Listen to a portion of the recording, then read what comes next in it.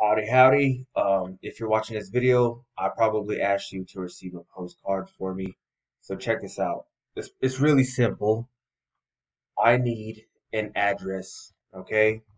I have an, let's say I have an auto glass repair company, right, which I do.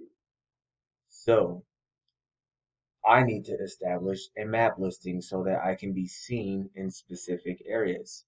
Now, I need your address and you know the name to the address whenever people send mail to you or whatever. I'm going to be sending you a postcard. And the postcard looks just like this. It's going to look like this on the cover, right? And there's going to be a code inside. Whenever you receive that postcard, it might it should take about a week, sometimes as much as two weeks, but there's going to be a code inside. As soon as that code soon as you send me a picture of the front of the card and the and that code, bam, you get paid. What does this do?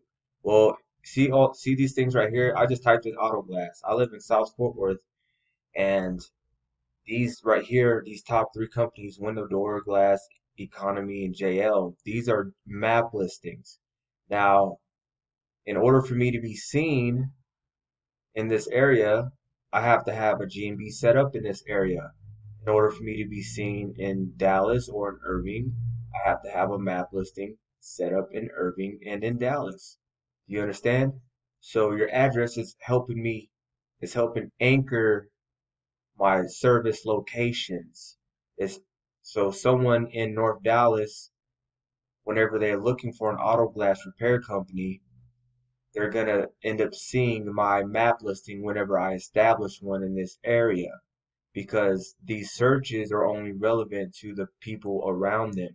So the more of these I can establish in different areas, the more I can be seen and the more calls I'm going to get for my auto glass repair company. It's very easy, right? Uh, yes, your address can't will get taken off after we get it verified and everything. Okay, it's just going to show that like I'm anchored in that area. So when people do the search, Bam. Wham, bam. Thank you, ma'am. All right. Thanks.